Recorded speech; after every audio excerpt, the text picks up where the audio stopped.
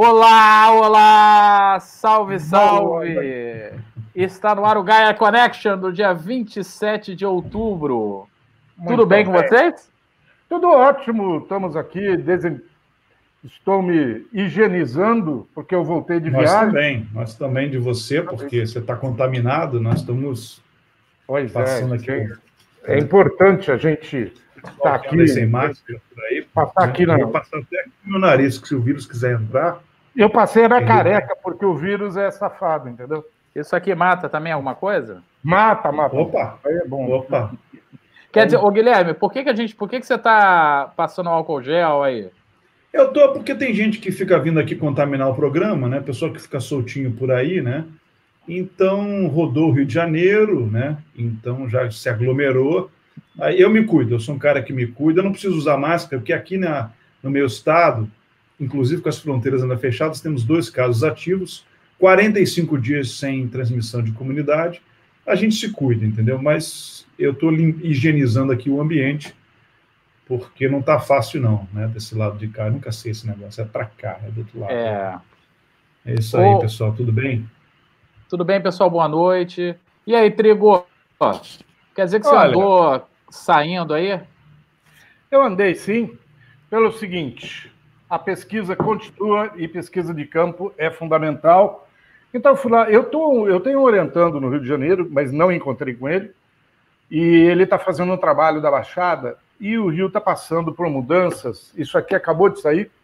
A República das Milícias, dos Esquadrões da Morte, a era Bolsonaro, é do Bruno Paz Manso. Ele é de São Paulo, mas escreveu sobre o Rio.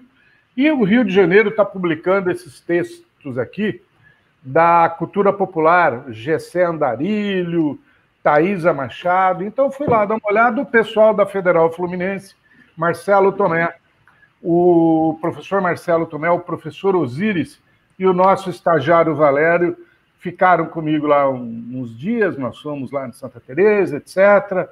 E me orientaram lá para ver algumas coisas em loco.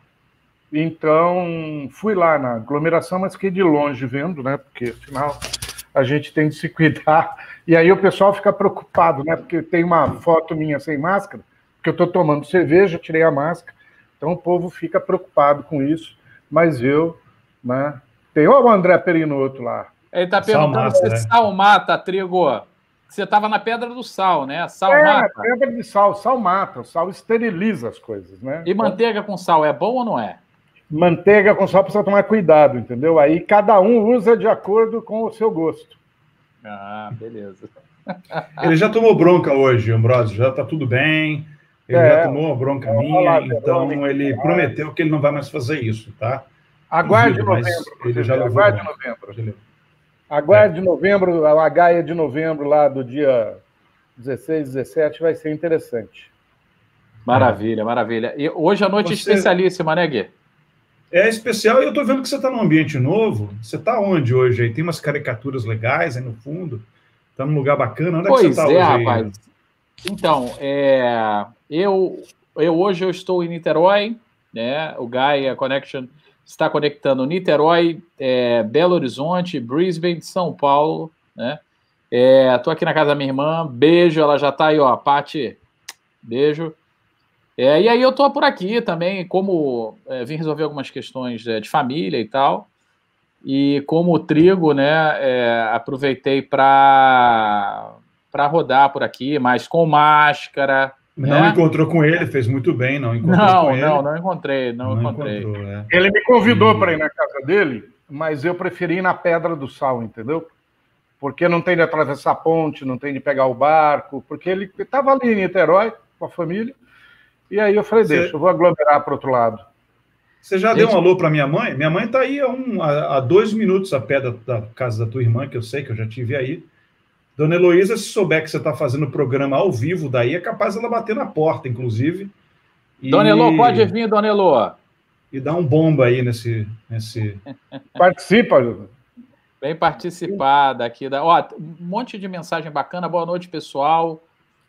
É, a Márcia dizendo que viu o relô, o pessoal do, do, do Pará, Janine. A história da manteiga volta. A, estroga, a história da manteiga nunca vai embora. Mas é manteiga aviação, viu? Não é qualquer manteiga, não, vagabunda. Maravilha. Porque a manteiga aviação rima, inclusive, né? Com o coração. É, com coração, com paixão, com emoção. Com emoção. É, ô, Guilherme, eu estava eu tava ouvindo dizer que agora em, em agora na quarta-feira, é, na França, tá? Está para ser declarada uma nova novo isolamento social, novo lockdown, né? E é. isso deve ser divulgado amanhã, na quarta-feira, né?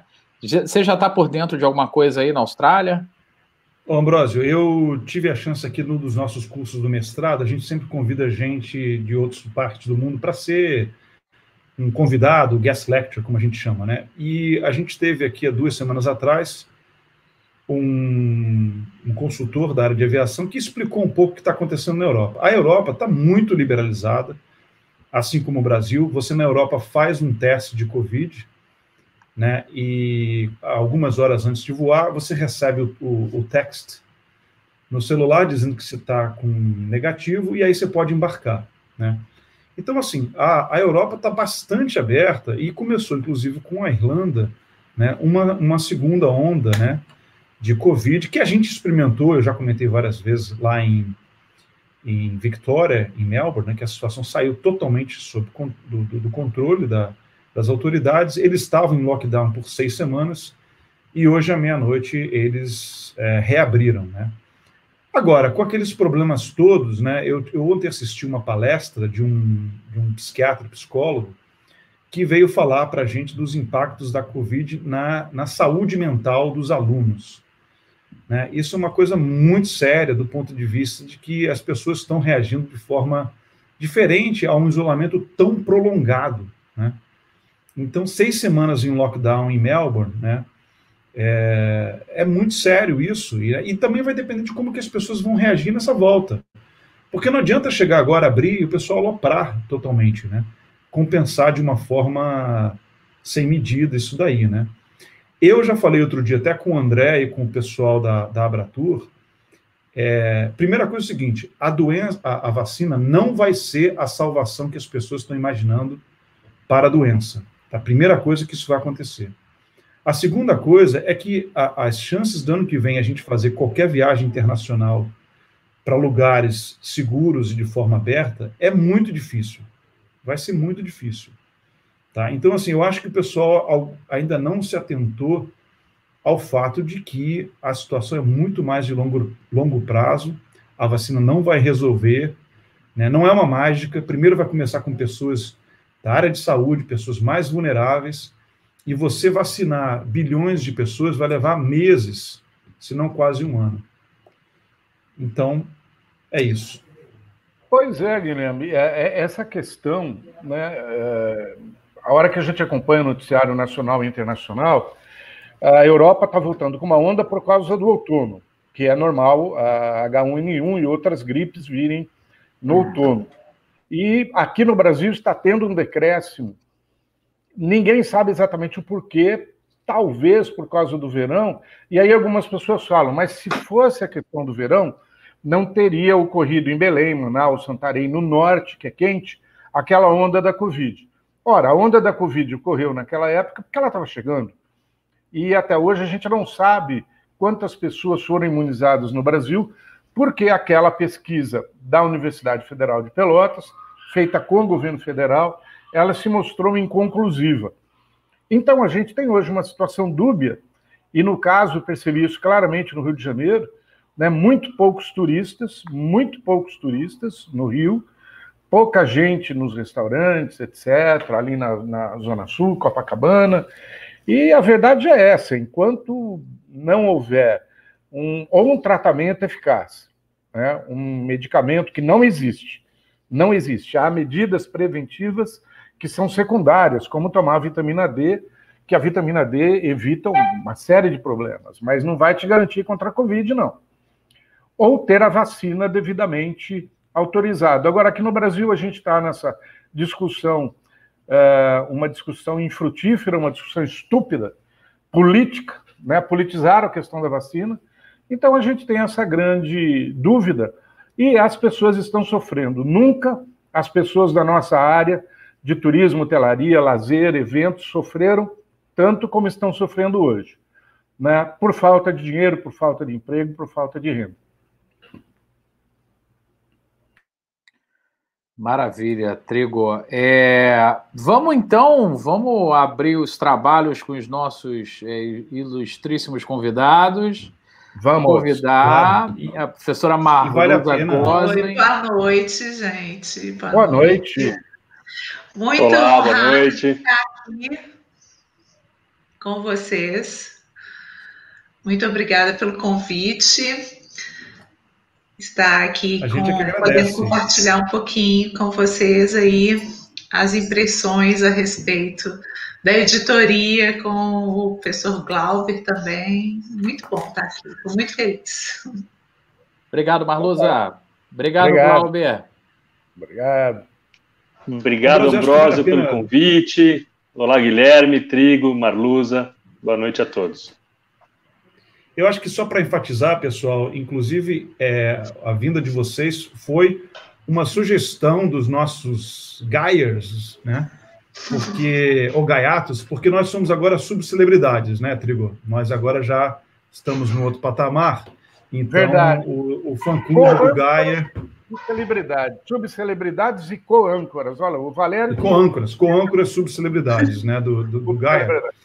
E então isso foi um tema pedido pelos, pelos nossos fãs, né, pela, nossa, pela nossa audiência, e é um tema muito interessante, e eu acho que vale a pena enfatizar que Marluza está num dos melhores programas de administração né, do, do Brasil, na Federal de Minas Gerais, e Glauber, que é o editor é, de, provavelmente, acho que do melhor, da melhor revista mais bem qualificada no Qualis, né, que é a Revista Brasileira de Turismo, que é a única revista nacional em turismo com A2.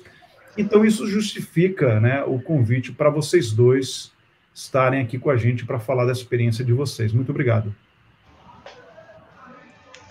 Eu que agradeço. Pessoal, o, vamos, vamos fazer só uma, uma abertura aqui, é, falar um pouquinho é, primeiro com a Marluza, Glauber, depois eu passo a, a palavra para ti e tal. É, o pessoal, para quem. É, o pessoal conhece a Marluza, né, da revista Marketing and Tourism Review, né? A Marluza, ela tem graduação na área de, de ciência da computação, né, Marluza? Isso. Depois enveredou para a parte de. Fez mestrado e doutorado em Fiz mestrado e doutorado em administração na própria UFMG. E depois, após pós-doutorado, lá em Portugal. Em gestão é? de turismo. Isso. Exatamente. E aí, como é que foi o seu caminho né, de, de ciência da computação para o turismo? Então, é, eu, eu fiz computação quando a computação estava numa época assim, é, ainda tinha disquete, sabe? MS-DOS, e era o, o máximo. É, eu fiz Uh, uh, muito focada no que eu gostava mesmo no ensino médio e fui levando a área de matemática, física, e era o que estava no auge e fiz computação. Mas eu confesso que, assim, é, o que o curso me trouxe foi só uma visão mais quantitativa, uma facilidade maior, né? Eu não acho que foi. Teve uma época da minha vida que eu achava que foram quatro anos jogados no lixo, porque eu não gosto de mexer com isso, com computação. Eu gosto da tecnologia como usuária, é, e, e não como desenvolvedora. Mas hoje, né, depois de pensar e da maturidade, eu comecei a achar que, que foi bom, assim, pela, por essa, essa oportunidade que me deu de, de ter facilidade com a, com a parte mais lógica, mais quantitativa, que é, é o que é, acabei fazendo disso um ponto forte, assim, ou pelo menos tentando.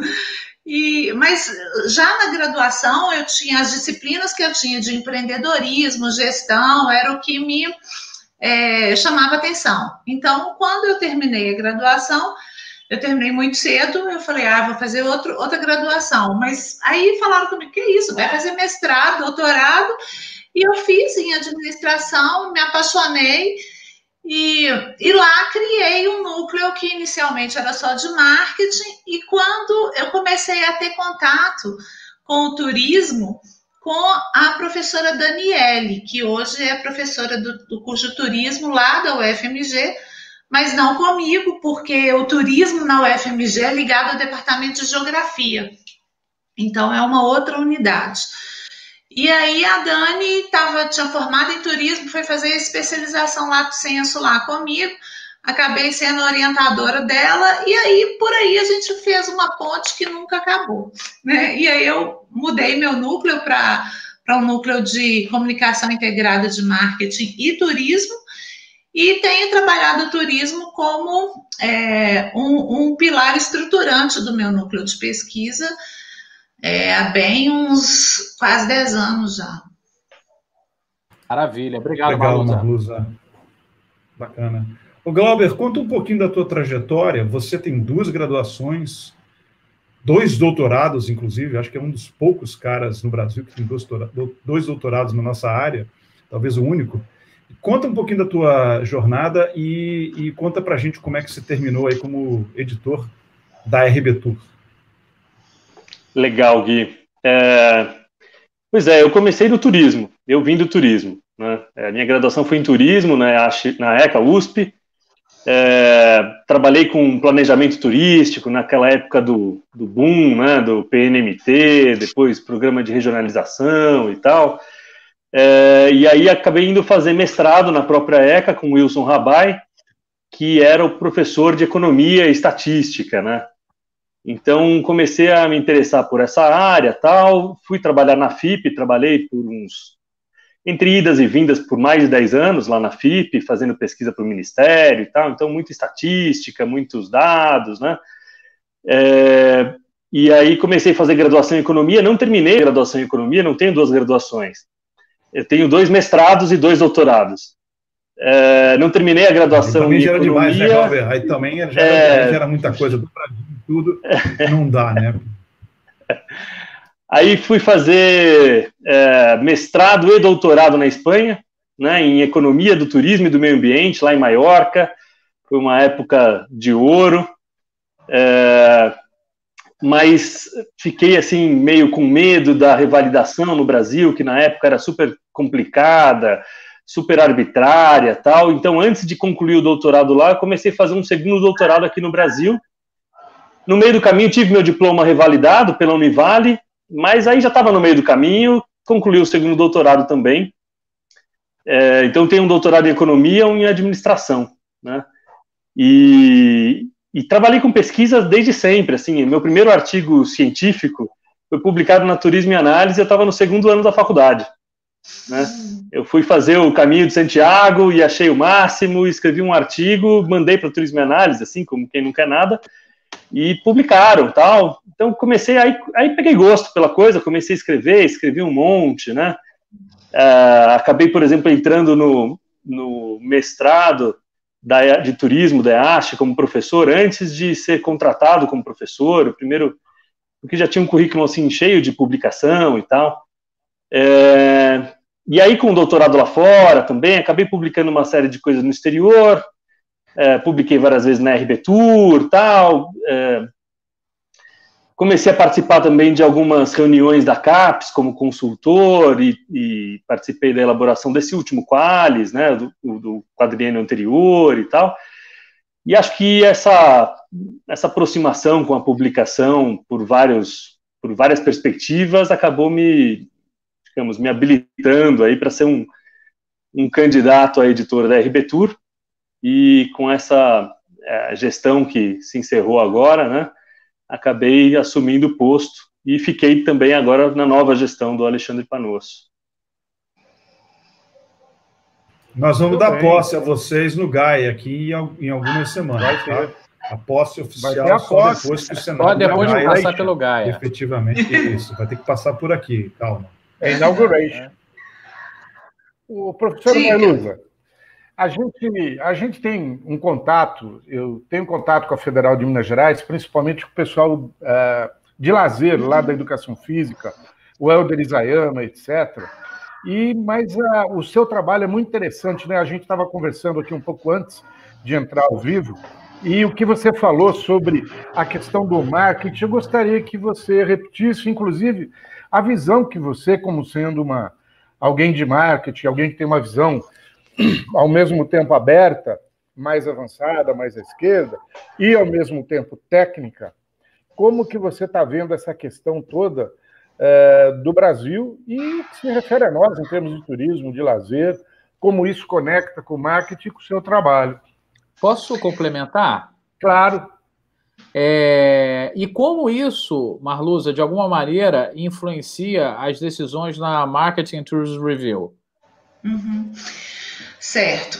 Bom, é, o, o, o mestrado e, e, o doutorado em lazer é ligado à educação física e eu tenho contato lá é, mais pelos meus alunos, porque eu peço como eu disse, né, eu estou bem, bem focada em trabalhar marketing turístico, e, e aí eu não, não tenho como fugir do lazer, de eventos. É, eu peço os meus alunos para fazerem disciplinas no lazer. Então, eu tenho contato lá com a professora Cristiane Lute, né? É, ela dá teoria do turismo, teoria do lazer, com, com o Helder, né, que, que trabalha muito essa questão de evento, futebol e etc. E com recentemente com o professor Kleber, que trabalha, e tem uma professora do, do Paraná que vai muito dar aula lá como professora visitante, e ela trabalha com parques e espaços coletivos urbanos, que tem sido um tema também que eu tenho trabalhado bastante. Né? Então, com isso, a gente se conecta mais nesse sentido. Já participei de algumas bancas lá. É...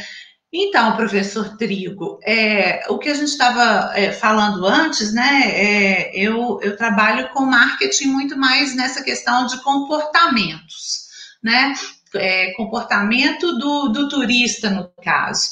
É, e também a questão de imagem de destino é, são os pontos que eu, que eu tenho mais trabalhado. E nessa questão de imagem de destino, é, o, que eu, o que eu enxergo, apesar de é, não ter feito ainda uma pesquisa é, formal sobre o tema, né, ainda é muito uma questão exploratória, até pretendo me aprofundar, mas é, não é só um chute, não. Já li alguns estudos mas a questão é que a, a imagem do, do país, que de certa forma a gente poderia achar que ela estaria pior, né? Haja vista aí as, as decisões e as, é, as falas do, do, do, do nosso governo, é, as decisões em relação à pandemia, enfim, é, as decisões em relação à educação, né? Que a gente tem sofrido cortes aí justamente no momento que a ciência e a educação é o que está meio que salvando a gente aí na, na pandemia. E a gente tem governantes que parecem que jogam contra, né? É uma, uma postura política muito à direita. No entanto, isso é, tem, tem sido global. Então, eu acho que, paradoxalmente, é, se a gente for trabalhar a, a mensuração da imagem, pode ser que em alguns países na verdade, o Brasil tenha ganhado, esteja com a imagem até melhor do que já foi antes. E Talvez em relação na Polônia, a... né, Ucrânia. pois é, exatamente. E, e, em relação a, a Marketing Tourism Review, é, o que a gente. É, é, o, por que, que ela surgiu, né? Eu acho que se eu te falar isso, eu te respondo, o, o Ambrosio. É, eu, acho, eu vi uma lacuna grande, sabe? Às vezes eu ia tentar achar um periódico para publicar, estou é, falando mais em termos de Brasil mesmo. eu ficava assim, mas eu mando para um periódico do turismo ou eu mando para um periódico de administração que, que, que fale mais de marketing? E eu ficava realmente perdida, sabe? E aí eu, eu falei, mas espera aí, então por que não criar um periódico que una as duas coisas, tanto o marketing quanto o turismo? Então, a proposta foi um pouco essa, né? É, é tratar de temas que são é, interdependentes e que eu e ser um lugar de acolhida para quem se sentir como eu me sempre me senti assim meio lá meio cá e sem saber é, para quem que eu ia correr para qual lado que eu ia correr se era mais gestão ou se era mais o turismo maravilha legal é, Glauber e Marluza, tem vários, das, vários colegas que estão assistindo o programa agora ao vivo, e eu sei que outros que vão depois assistir vão ter um interesse da seguinte, da seguinte forma. O que está na cabeça do, do editor dessas revistas, das principais revistas de turismo? Né? Uma coisa que é nítida, é, que eu vejo nas pesquisas em turismo no Brasil, é uma ênfase é, é, desproporcional em descrever estudos de caso. Né? Eu gosto, é, acho que foi o Miguel Moital que articulou mais ou menos da seguinte forma: a gente pode olhar da pesquisa os três Cs. Né? O primeiro C é conceito ou teorias, o segundo é o contexto, né? pode ser aplicado, vamos dizer, na área de, de, de transportes ou, ou é, parques nacionais, e o, e o último C, C seria os casos, né? É, que aí você está você tá tentando operacionalizar aquela teoria ou explicar a teoria, né, é, num caso específico, pode ser uma localidade, uma série de localidades. É, o que a gente percebe nitidamente nas principais revistas internacionais é que o avanço, né, a contribuição tem que ser feita na teoria. De que forma a tua pesquisa faz com que a gente entenda de forma diferente o que se entendia até então. O caso do Ambrósio, a gente já falou algumas vezes, como é que a gente olha para a competitividade, né? E a gente é, percebe uma, um input da demanda que não existia até então. Fala um pouquinho para a gente, assim, o que está na cabeça de vocês quando vocês olham um artigo, né? E, e como é que vocês veem, de que forma a revista, os artigos que são publicados, poderiam ser melhores em termos de contribuição teórica conceitual? E o que, que vocês gostariam de dizer para esses, para esses é, possíveis autores. Glauber, se você puder começar. Microfone, Glauber. Microfone. Legal, Gui. Acho que você pegou no ponto central, assim, né? É, o tipo de artigo que a gente mais é, rejeita é o estudo de caso. Não um estudo de caso bem feito, não um estudo de caso que de fato é um estudo de caso. Né? O tipo de artigo que a gente mais rejeita é o, é o estudo sobre um caso específico que traz como contribuição a compreensão daquele caso específico. Ponto. Né? É, e aí, portanto, não tem uma contribuição teórica. Né? O que se aprende ali não tem interesse para ninguém que está interessado em outros casos. Né? Então, o sujeito estuda lá alguma coisa de um município específico é, digamos, avaliação de uma política de turismo no município específico. Essa política não tem nada de novo é, e o sujeito descobre que a política funcionou ou não funcionou, sei lá. Né? É, puxa, a política não é nova. O resultado naquele município basicamente interessa para quem mora naquele município. Né? Então, esse é o tipo de caso mais comum, né? de, digamos, de artigo que a gente recebe que não, não publicamos é, tem um, eu orientei uma, uma chinesa que fez mestrado lá em Girona, né? E ela, enfim, orientei, ela fez um trabalho bacana sobre o Brasil tal, e ela tinha acesso a informações em chinês, né, que poucas pessoas têm, então foi um trabalho interessante. E tinha uma instrução na, na, nas orientações aos orientadores, que era o seguinte: dissertação, isso falando lá do programa deles, né, mas basicamente se aplica aos outros casos. Dissertação não pode ser consultoria. Né? O que é consultoria? Consultoria é aplicar o conhecimento existente a um caso específico. Né? Então é o seguinte, o sujeito estudou bastante como se faz, sei lá, qualquer coisa, como se faz uma pesquisa de satisfação, por exemplo, sei lá. Né? Ele estudou como se faz isso, todo, já se, isso já se sabe, né? Existem dezenas de pesquisas e livros e artigos sobre pesquisa de satisfação, assim, em geral. Aí o sujeito vai lá e faz uma pesquisa de satisfação do turista no município de Conchichina da Serra, né? É, descobre que o turista está satisfeito ou não está satisfeito. Tá. O que, que, ele fez? Ele fez consultoria, né? Então esse é o caso mais típico. Ah, então na RB Tour e acho que em muitas revistas, né? Assim, o artigo precisa ter alguma contribuição teórica. Não precisa ser uma teoria imensa, inovadora, um grande modelo, mas alguém que não está interessado naquele caso precisa estar interessado naquele artigo. Né? Quer dizer, aprende-se para além daquele artigo. Esse é um ponto central. Mas tem vários outros né, de, uma, de um bom artigo. Marluza, o que, que você acha? Meu microfone estava mudo aqui. É... Então, eu, eu concordo totalmente. Assim, a, a, a, revista é muito novinha, né? Ela, ela teve um número em 2016 e de lá para cá a gente tem tido a regularidade semestral. Mas eu já até coloquei isso, é, mudei o site recentemente e numa das diretrizes lá que as pessoas têm que clicar, né, é, para poder submeter, eu coloco que em geral já na fase de desk review, é, que sempre sou eu que faço, acabo fazendo, é, se não houver uma contribuição teórica é, mínima, é, vai haver rejeição de cara, porque a gente, né, a gente sofre com o avaliador, né, Glauber?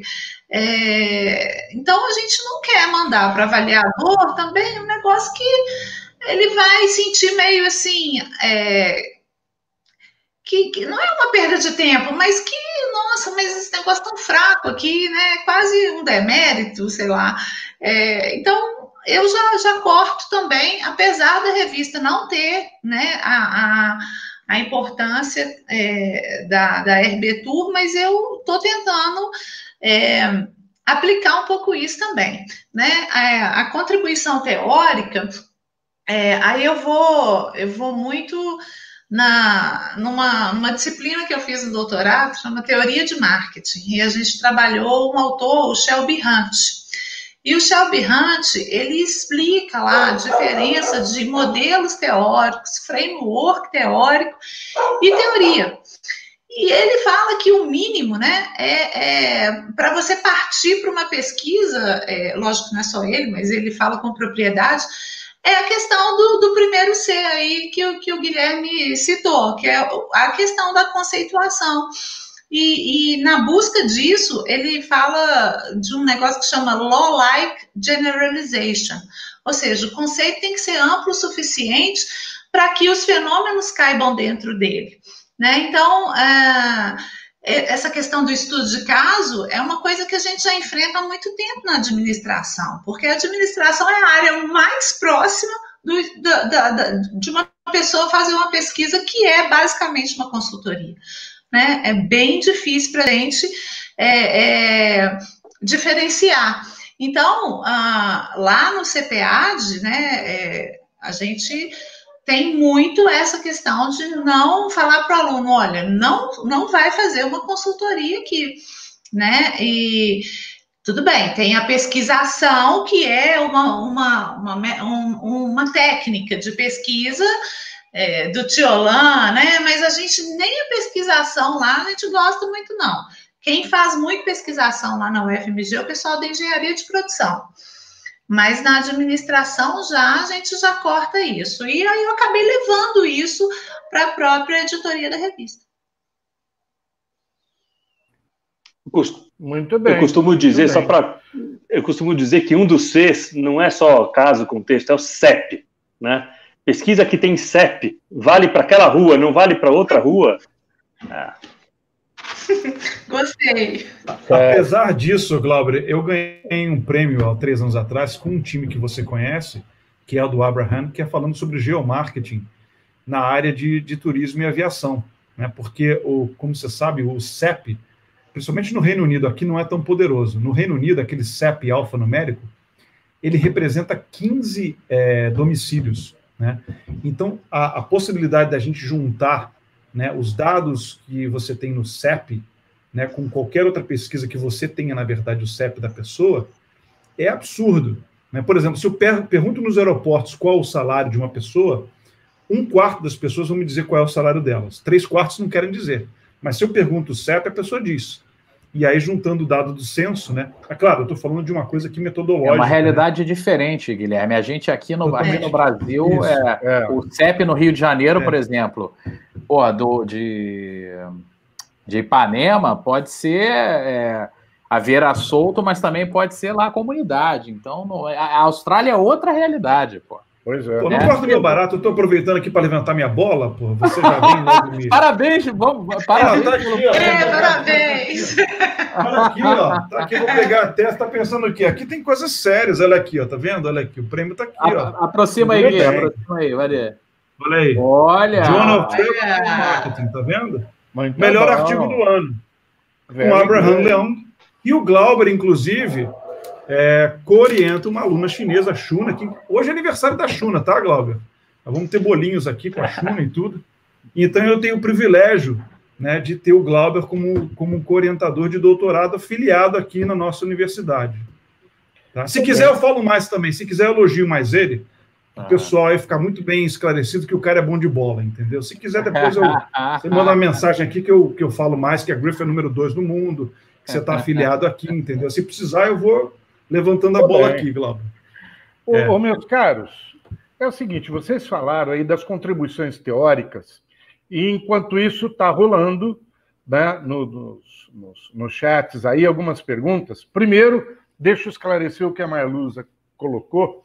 Quando a Marluza colocou que a imagem do Brasil pode estar melhor em alguns países do mundo, são os países de direita, de extrema direita, como a Polônia, como a Hungria, como a própria Rússia, é, que tem um regime mais, não é? É um regime dúbio. Então foi nesse sentido. E a Marluz é de esquerda, não vão confundi-la com outras coisas. E ela teve essa visão, né? Então, senão daqui a pouco vão te chamar de Bolsonaro aqui. Deus me livre! Você já pensou? Nossa! Vocês, vocês querem me matar, vocês fazem de isso. De Bolsonaro já basta você, que anda por aí como se o vírus não fosse nada, né? No Rio de Janeiro, pô. Eu é, vou você anda que nem um eu sou esquerda. Posso terminar a minha lucubração? Não, então, não vem primeiro... falar besteira aqui no programa que a gente então, desmascara logo, entendeu? Então, desmascara não, não que eu estou com a minha máscara. Olha, eu estou é, com a minha não, máscara aqui, entendeu? É. Usa então, direito, pô.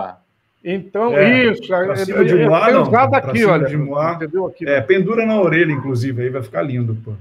Segundo ponto nessas reflexões teóricas, a gente, eu noto, né, eu noto aqui no mestrado, nos alunos de mestrado, etc., que a gente está passando por uma nova mudança imensa no mundo, não só por causa da pandemia, mas por causa da direita se fortalecendo em alguns lugares, a América Latina tentando voltar a uma redemocratização, e, de repente, algumas pessoas ainda estão presas numa bibliografia aí ligada à área de humanas, eu estou sendo específico, aí da área de filosofia, ciências sociais, uma bibliografia muito antiga, é, que não é que é obsoleta, simplesmente não corresponde mais. Como é que vocês veem isso? É, se isso acontece na Austrália ou não, se isso acontece nos outros lugares, e como vocês estão vendo isso aqui no Brasil, mais especificamente aí o Glauber e a Maia Lusa, nos programas nossos de pós-graduação. O que, que a gente podia fazer para garantir que as pessoas fiquem mais up-to-date, mais atualizadas e não tenham uma visão fechada, né? Porque uh, eu noto que os dogmas são muito prejudiciais para a pesquisa. Bom, um, um ponto, eu acho, eu acho que o brasileiro lê pouco. Inclusive o pós-graduando, inclusive o pesquisador. Eu acho que lê pouco. E uma das, uma das provas disso é que a gente é, tem uma taxa de citação dos artigos baixíssima. Né? Quer dizer, a gente tem muito, na pós-graduação, na pesquisa, a gente tem muito incentivo para escrever e pouco incentivo para ler. Né? Então a gente precisava ler mais, ler mais. E ler, precisa ler de tudo, né? Precisa ler livro, precisa ler artigo, precisa ler em português, precisa ler em inglês, precisa ler em espanhol, né? É, eu acho que o brasileiro lê pouco, essa é uma das grandes dificuldades. É, eu acho que é, a gente pode enxergar isso de outra forma, sabe, Trigo? É, a, a, diferença do clássico pro, pro antigo, sabe? É, exemplo, ah, o, o Bauman, né? É, se você pensar, ele, pode um pouco ser considerado, sei lá, mais antigo, mas no entanto ele está super atual, né? Como que você vai fazer uma leitura da realidade sem pensar no Bauman é, é complicado. A gente faz isso de uma forma assim no marketing, é, existe até uma, uma discussão, né? O marketing é ciência, aquela discussão que, que, que todo mundo faz, né? É, por que, que, que existe essa discussão? Porque a gente não sobrevive sem os clássicos da sociologia, da antropologia, né, da psicologia. E aí eu, eu creio mais numa releitura, sabe? É, por exemplo, sociologia do consumo, construção de mercado. É, na, no último Ampitur, teve um artigo interessantíssimo sobre é, construção de mercado.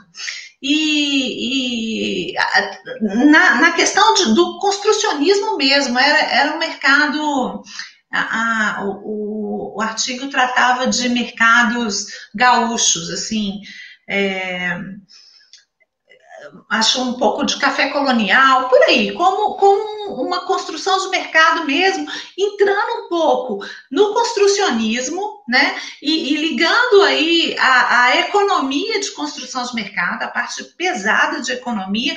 Então, eu entendo que é, você, você pode sim é, recuperar os clássicos e dar uma cara para eles é, bem atual, né? Desde que você leia, sabe? Fazer essa, essa contraposição, eu acho que é importantíssimo. E, e realmente concordo com, com o Glauber, cada vez mais a gente vê mais do mesmo, e isso é, é complicado. A gente vê isso nos artigos que a gente recebe, é, é bem pouca novidade mesmo, e às vezes também como, não só como editora, mas como autora, se a gente, é, eu não sei se vocês percebem isso, vocês têm esse tipo de experiência, mas às vezes você quer trazer uma coisa inovadora, assim, diferenciada, e, e ser é barrado, talvez até porque as pessoas não tenham essa, essa visão, essa, essa amplificação, porque fazer mais do mesmo é meio, meio que garantido, assim, ah, não, é, eu vou por esse caminho que aí vai dar certo, né? E, as, e isso, às vezes, é uma barreira mesmo para uma inovação temática, isso me preocupa um pouco. Sobretudo, Marlu, se for área interdisciplinar. Né? Exato. Né? Vou dar um exemplo, o Vander, o Vander está aí, né? A gente fez agora um artigo com a Sara Minazzi, que é sobre o uso de imagens sensoriais, imagens de satélite para trabalhar com vinícolas, né? Uhum. Primeira dificuldade, não tem gente para revisar o artigo. Porque ou o pessoal entende muito do setor de, de vinicultura, de, de, turismo de vinho, ou você vai se dar, lidar com o pessoal mais da área técnica, engenharia, que é de sensoriamento remoto e por aí vai, né? que é muito difícil você conseguir com que esses revisores façam revisão para uma revista de turismo. Então, inovar já traz esse problema. Né? Uhum. E agora, a vantagem que a gente teve com os três revisores, quando conseguiu, o artigo foi publicado na, na Tourism Review quase que de cara, entendeu? Bateu na trave, mas entrou. Eu acho que tem espaço, né? tem um risco de se inovar, mas eu acho que se a pessoa, se os pesquisadores tentarem no, no, final das contas, vai conseguir ter uma boa revista. Né? O problema que eu vejo hoje é o contrário, é um excesso de, do, da mesmice, né, que a gente estava falando antes, né, com, com artigos que não agregam do ponto de vista, são mais relatórios técnicos, descrição de estudo de caso, do que propriamente tendo uma contribuição para a teoria, né, para a inovação metodológica, enfim. O, o... Deixa eu fazer uma pergunta para o Glauber e para a Marlusa. Na verdade, eu, eu vou deixar uma, uma mais é, capciosa para o final. O, Tiago Ali já colocou alguma coisa que eu, mais ou menos, do que eu quero perguntar. É, é, vou dar o troco no Glauber. Quando eu fui lá na, na participar do evento da IASH, ele me fez uma pergunta maravilhosa. Te espera, espera então, hein? Mas a pergunta é a seguinte, é, é Glauber e Marluza. É, que tipo de artigo tá, você sorri quando recebe na sua caixa de e-mail? Sorrir de felicidade, tá? É sorrir. Não é sorriso do Gaia, não, né? Não é, não é sorriso, do Gaia, não. É. Que tipo de artigo você quer receber? Bom, é, posso falar, Glauber, primeiro? Uhum. Vai lá. Porque eu quero escutar o que, que também você espera. é, bom, eu, eu, eu espero, às vezes, assim, é, um, eu sou, sou muito. A gente falou de teoria aqui, mas é o que me preocupa muito, às vezes, é a, a questão metodológica. O que eu vejo muito são, por exemplo, se eu, se eu falar de, um, de, uma pesquisa exploratória com técnicas qualitativas, são dois tipos de erros assim que, que é, me deixam triste, mas acontece muito e que, portanto, se não acontecesse, eu ficaria muito feliz. É, se numa pesquisa é, exploratória qualitativa é, houvesse no final uma, uma modelagem, assim, proposições de pesquisa né? O que é, costuma acontecer muito, o pessoal faz o qualitativo e pronto, acabou, não termina com proposição, não termina com nada. Né? Então você fica. Primeiro, você não, não pode generalizar metodologicamente, mas é, a ciência não é uma construção, o que, que você está deixando para outra pessoa pegar dali, né? A partir dali. Eu fico preocupada com isso, porque eu falo, gente, mas cadê o próximo passo, né? Quem que vai dar o próximo passo nessa pesquisa? Ninguém. Por quê? Porque a pesquisa não tem um fechamento com uma figura, um modelo, um resumo, uma proposição teórica. Não, não aparece isso. Então, quando aparece, é, me faz muito feliz. Obrigado, Marluza. Eu, eu tenho uma listinha. Tenho cinco. Cinco tipos de artigos que me fazem sorrir. O primeiro é uma revisão da literatura, mas uma revisão ampla da literatura e baseada no conteúdo e não na bibliometria, né? Então, assim, a gente recebe muitos artigos de revisão da literatura de uma literatura que tem sete trabalhos. Aí você faz um oitavo trabalho revisando sete, não sei se é muito o caso, mas uma revisão ampla, né? A gente publicou agora recentemente revisão da literatura de comportamento do consumidor em turismo no Brasil opa, aí ficou legal. Aí vira, vira assim, referência para todo mundo que vai continuar naquela grande área, né? Então esse é um ponto bacana. E, e aí, de novo, tem que ser baseado no conteúdo, tem que texto é feito para ler, né? Tem que ler o texto e falar, olha, esses são os pontos, tal. Segundo, é, quando alguém traz um novo fenômeno, né? Algum fenômeno concreto, alguma coisa que está acontecendo, que aconteceu e que ninguém tinha visto aquilo, que ninguém tinha percebido, né? Então, novas realidades são interessantíssimas.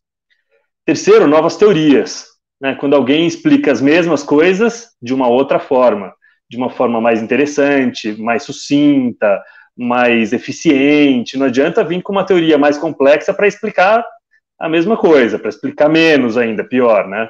Tem que ser uma teoria bacana, mas novas teorias são desejáveis, muito desejáveis, né? É, quarto, é, evidências contrárias às teorias que a gente acredita. Opa, isso é sensacional, né? Todo mundo acredita que é, isso acontece, de repente vem alguém e diz não, isso não acontece. Ah, aí ficou demais, aí ficou demais, aí tem um novo campo, né? E quinto, e esse é um caso específico, é, um, é uma espécie de estudo de caso, mas é, são estudos de avaliação, avaliação de políticas públicas, por exemplo, mas, de novo, não avaliação de políticas públicas lá daquele município X ou Y, ou daquele hotel, né? Avaliações de casos amplos. Né? Tem uma, uma pesquisadora, colega que está lá na Federal do Rio Grande do Norte, por exemplo, que tem feito artigos nesse sentido que eu acho sensacionais, a Carolina Todesco, ela tem feito avaliações do tipo uh, a eficiência do legislativo brasileiro no turismo. Né? Não é a Câmara de Vereadores, é do legislativo brasileiro. Opa! Então, avaliações amplas desse tipo, né, com essa abrangência, interessam a muitas pessoas e me fazem sorrir. Acho que são cinco tipos aí que eu sugeriria. Legal, gente. Legal. Ô, Glauber, só emendando no que você falou e no que acho que o Sandro também, se puder colocar aí, Ambrosio, é, nós aqui na Griffith, a gente tem essa premissa de fazer a, o que a gente chama em inglês de Systematic Literature Review, né? que vocês estão familiarizados, né? Eu não estou dizendo necessariamente, não estou advogando aqui que você tem que publicar toda a Systematic Literature Review, eu não estou dizendo isso. O que eu estou querendo dizer é o seguinte, que é importante que exista método e que exista é, uma clara é, valor de atributos de como é que você revisou a bibliografia ou o tema do que você está trabalhando, né? Porque, assim, também tem um problema que eu vejo muito nos artigos no Brasil e que não usam esse tipo de, de técnica, é que fica pegando, fulano falou isso, Beltrano falou aquilo, ciclano falou tal outra coisa, né? Tá, e o que que, e o que por que que você não pegou outras pessoas, né? Por que que você ignorou outras pessoas, né? É, então eu acho que é importante falar isso, dizer quais foram as palavras-chave que você usou, quais foram as, as bases de dados que você procurou, quais foram os resultados que você fez. Nós estamos trabalhando com um aluno aqui do nosso doutorado, até brasileiro, o Renan, ele está desenvolvendo é, em Python, né, uma forma de você poder jogar textos. No caso dele ali é sobre é, artigos da mídia. A gente está interessado em olhar os temas, né? Que a mídia tratou o Covid e o, os cruzeiros marítimos. Mas no futuro, você sofisticando e automatizando esse processo, a gente vai ter a capacidade até de fazer identificação de temas, né? Através de, de, de programação, né? De jogar os textos lá e pedir para que a, a, os próprios, é, o próprio software diga para a gente quais são os temas que estão emergindo. Entendeu? Então, o nível de sofisticação do ponto de vista das revisões bibliográficas está avançando de um jeito que eu acho é, a gente tem que tomar um certo cuidado para não ficar ainda fazendo aquele modelo super tradicional que é muito seletivo e difícil de ter um embasamento é, científico, vamos chamar Você assim. sabe que saiu no jornal da USP recentemente um artigo, um grupo lá na, na USP Butantã, trabalhando com a questão informatizada dos textos, dos heterônimos de Fernando Pessoa, para, através de software que eles desenvolveram, softwares ligados à linguística, enfim, algo que eu não trabalho e não entendo, mas eles têm, têm uma página na web, e esse pessoal aí da FEFELESH, da Letras da USP, está fazendo isso. E que pode ser, no futuro, cada vez mais usado na nossa área. Agora, aquele ponto, né, que especialmente a Marluza colocou, eu, eu gostei dos cinco pontos aí que o Glauber elencou, né, de uma maneira bastante didática, mas quando a Marluza fala, isso é importante, né, Marluza? Uma coisa é o clássico. O clássico é eterno, o clássico é fundamental. O que eu estava uh, é, evitando é, tem literatura que é datada, então não é que ela deixa de ser válida, mas ela precisa ser atualizada, ela precisa ser contextualizada. E aí entra a pergunta da colega: bom, como é que faz para comprar livro, revista? É por isso que as bibliotecas são fundamentais. As bibliotecas das universidades, as bibliotecas públicas, as bibliotecas e centros culturais, Hoje não são só lugares de livros, são lugares onde você tem acesso a periódicos que são caros. Então, isso é fundamental. Agora, nós pesquisadores, né, nós, as pesquisadoras, os pesquisadores, o nosso investimento é em conhecimento, é em informação. A gente, eu sempre investi em livro, às vezes economizava em outra coisa em viagem para comprar livro. E é o nosso trabalho. E isso será, a informação é cada vez mais importante. Enfim, Olha aí, é, é, é essa pergunta, né? É, é, isso que a gente tem de viabilizar como professores, como pesquisadores e como gestores das universidades, públicas ou privadas, a gente precisa garantir que esse acesso seja uh, estendido a todos os alunos, alunas, professores, a todo mundo. É, e aí vem naquela aquela preocupação no, com corte, né, que a gente está sofrendo aí. Né, como que a coisa começa a piorar, né? Porque é, se a gente pensar enquanto, por exemplo, periódicos da CAPES é, nos ajuda, né? É, se você está ligado à, uni à, universidade e usando o acesso remoto, você tem, tem muito acesso, né? Eu acho que isso ah, ajudou demais e, e, no entanto, é uma coisa que demanda investimentos constantes, né? Contínuos e com corte, uma coisa ainda mais a área de é, humanidades, né? E, e ciências sociais aplicadas, a gente sabe que a gente já sofre é, para ter aí acesso. Vai ser, eu tenho medo, né, de ser a que mais vai sofrer. Só, só se eu puder complementar aí a questão da, da revisão sistemática, é, eu acho que pouquíssima gente sabe, mas tem aí um ano, dois anos, eu estou também, além de estar no, atuando é, no programa de administração, eu atuo num programa que, é, da Escola de Ciência da Informação, e aí, voltando um pouco às origens, Ambrósio, aí não é a computação, mas é a ciência da informação. E lá da UFMG, é um programa novo, é, programa, lá tem um programa bem mais antigo, que é a pós-graduação em ciência da informação, mas ela se dividiu e aí virou gestão do conhecimento, pós-graduação em gestão do conhecimento. Então, eu trabalho lá também. E, e, e coube a mim implantar o turismo também lá. Então, mas lá é, a gente trabalha muito com learning machines e eles usam muito learning machines para fazer é, essa automação mesmo da, da revisão é, sistemática de literatura. Né? Então, eles têm, eles estão bem, bem no, no mainstream de, dessa prática, usam aí autores, vamos dizer assim, é, mais clássicos, por exemplo, como Torraco, né, 2005, ele tem lá um, uma um, quase um fluxograma de como fazer uma boa revisão, né, integrativa de literatura, mas usam também softwares que, que, que trabalham como learning machines para automatizar essa questão e pegar coisa que realmente, né, é, foi comentado aqui, porque pegou um autor e não outro, e aí em cima de analytics, né, você capta realmente quem são os autores é, que, que fazem diferença é, no campo. É, pessoal, antes de eu passar para a pergunta do Tiago, o Tiago, nosso querido parceiro na Abratur, é, meu parceiro lá na UF também, é, só queria recomendar. prato também, né? Que a gente lava prato com ele. De, lá, também, né? É. É, os homens do Gaia. Durante do o Gaia, Gaia né? Prato, é. Exatamente.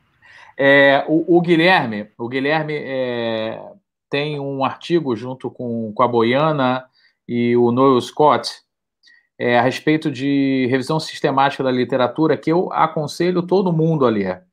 Tem um passo a passo lá fantástico. Então, quem quiser saber um pouco mais, é, depois entra em contato. É um, um, artigo que o Guilherme participa que é muito, muito bacana mesmo. É, mostra os passo, passo a passo é, metodológicos da, dessa abordagem. É, Glauber e Marluza, é, o Thiago colocou o seguinte: olha, é, uma das viradas de vocês, né, foi da, da, revista de vocês, foi começar a publicar a versão em inglês, né, do texto. Como é que foi isso? Se vocês puderem com comentar, por favor? Olha, acho que eu posso comentar primeiro porque no meu caso é rápido. Quando eu peguei a revista já era assim. Então eu só mantive. Né? Maravilha. Mas quais são as oportunidades, o Glauber? Você vê uma utilidade nisso? Qual é o efeito disso que você. As pessoas de fora leem mais o jornal, a revista, desculpa, é journal em inglês, né? A revista por conta disso? Eu acho que é um grande desafio, Gui. É um grande desafio. É um desafio que é, eu ainda não tenho certeza se será vencido. Tá? Por quê? Porque, é, bom, primeiro, publicar em inglês é algo que gera custos, trabalho, esforço, tempo considerável do ponto de vista da revista e do autor. Né? Então, esse é um elemento importante aí. É, a decisão de publicar em inglês não é uma decisão, né? Não, não é, não tem almoço grátis. É, e do ponto de vista do resultado, o desafio é muito grande, né? A, a concorrência é gigantesca. Quer dizer, publicar em inglês significa é, tentar concorrer no mercado efetivamente internacional, mundial, né?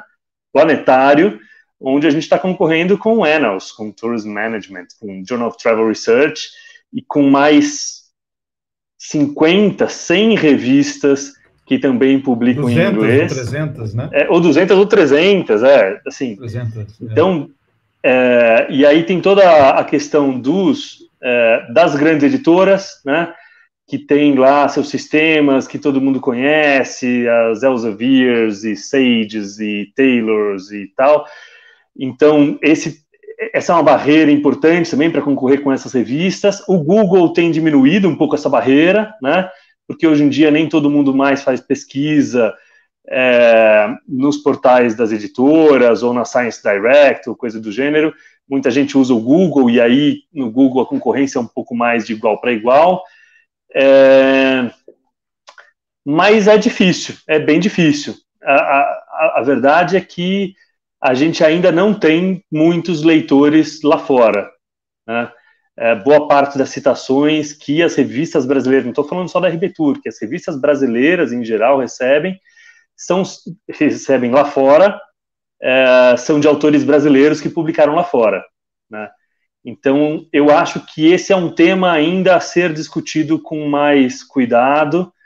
É, eu não, não tenho plena certeza de que o futuro das revistas brasileiras será parecido com o, esse futuro que foi imaginado quando as revistas começaram a tentar se internacionalizar. É possível que a gente comece a ver uma, uma retirada. É. Antes de passar a bola para a Marluza, aliás, colaborando com a Marluza, ela, ela fala uma coisa que é genial. Ela fala assim: ah, traduzir, coloca no Google Translator depois você coloca no Grammarly Pro e tem um artigo, né? Tem um artigo pronto.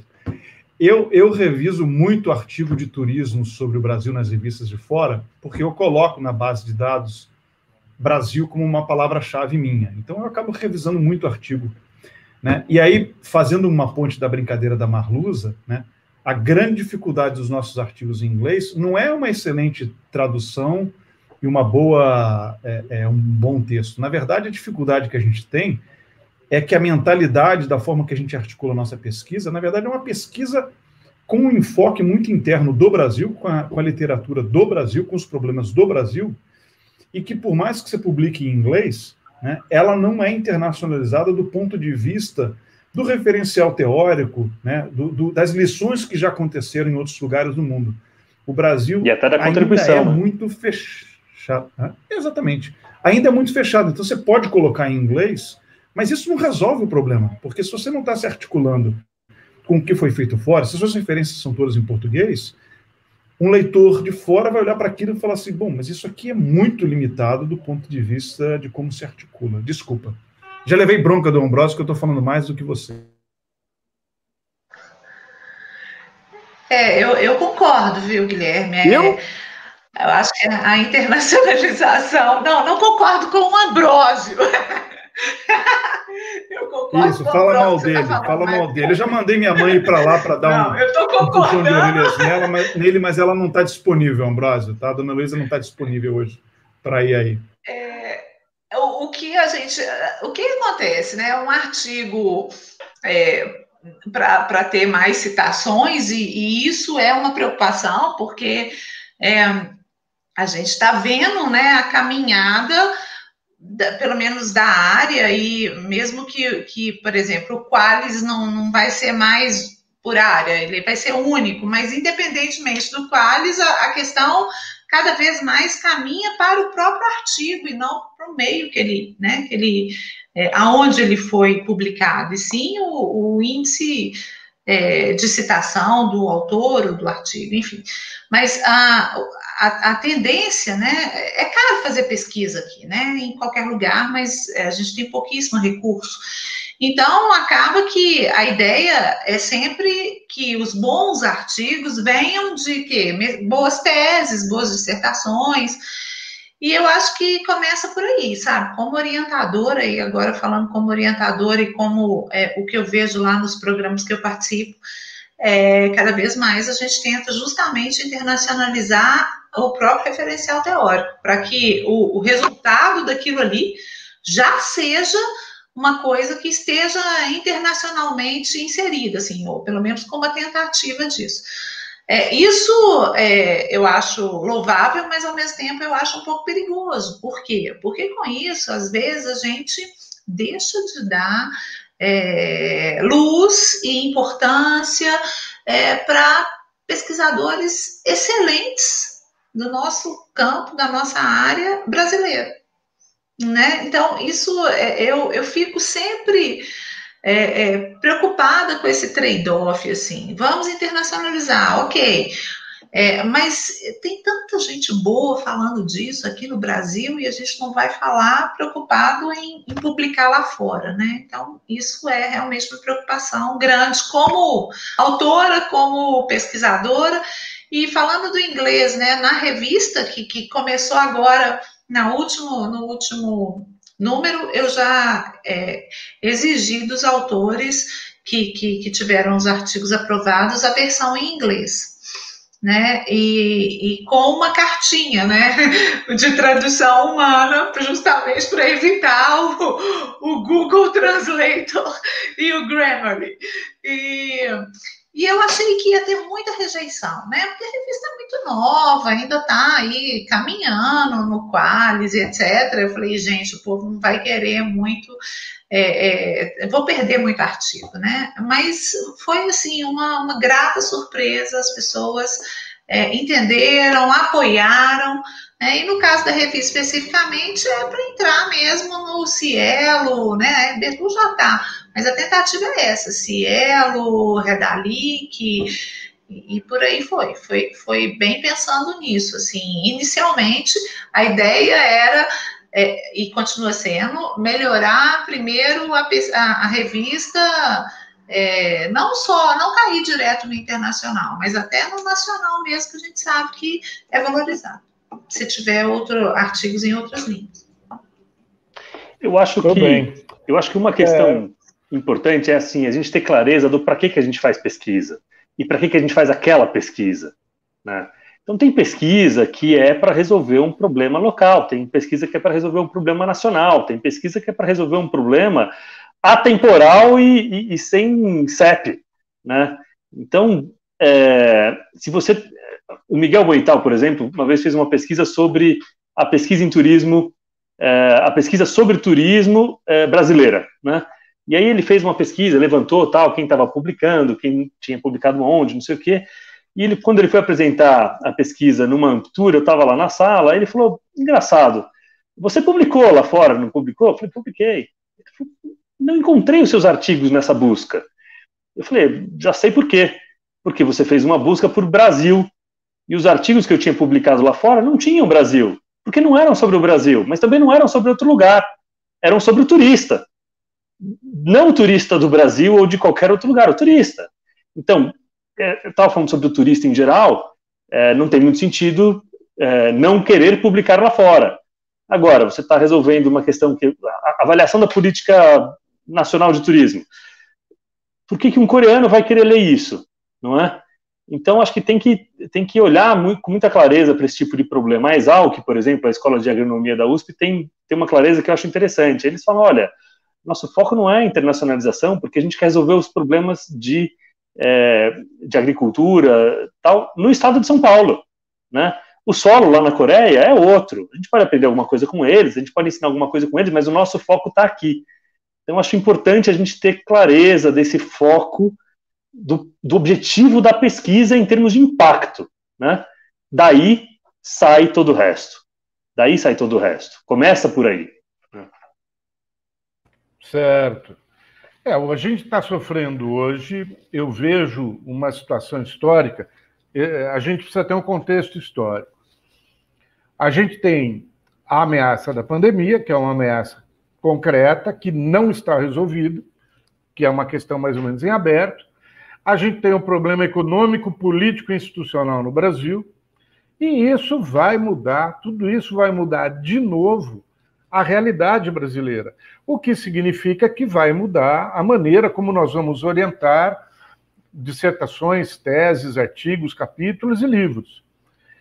Como nós tivemos na última ditadura militar, de 64 a 85, ameaça grande também à sociedade civil, a sociedade civil respondeu na época. Respondeu pela literatura, pela música, pela academia, pelas universidades, pela política. Houve uma resposta. A década de 1980 foi uma década muito rica. Talvez a gente tenha uma resposta né, daqui a alguns meses ou daqui a alguns poucos anos, em virtude dessas ameaças que, especialmente, as universidades públicas estão tendo. As federais, mas também as estaduais.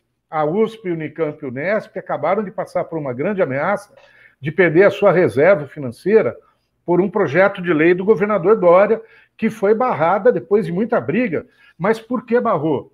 Porque tanto a Unesp como a USP como a Unicamp mostraram dados estatísticos de que nós somos produtivos e agora, essa semana, saiu uma matéria mostrando que as universidades federais são muito mais produtivas que as universidades particulares. Então, é evidente que a gente precisa botar dinheiro aí, é evidente que a gente precisa investir.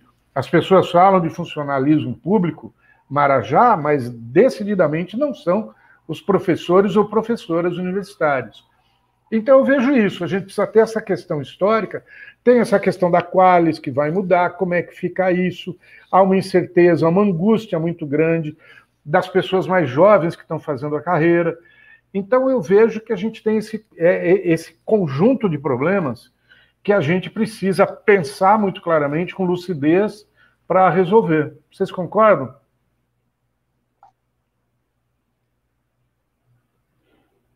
Eu concordo, eu concordo. Acho que a gente tem é, é um momento de, de muitas mudanças no Brasil e no mundo, né?